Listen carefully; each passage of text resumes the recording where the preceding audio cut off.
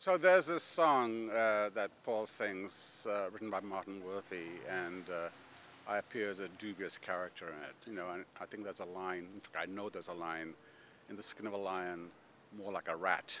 Which is probably the worst or the best line in any literary song. There aren't that many.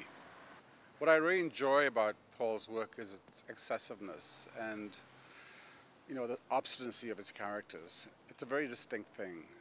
And I think you see it in his own writing too, that you get a sense that he writes exactly what he wants to write and he sings what he loves. And as a result, there's this overwhelming, generous pleasure in all of his work.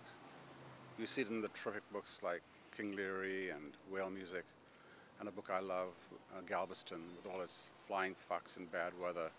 And again, you have this generous affection in his work.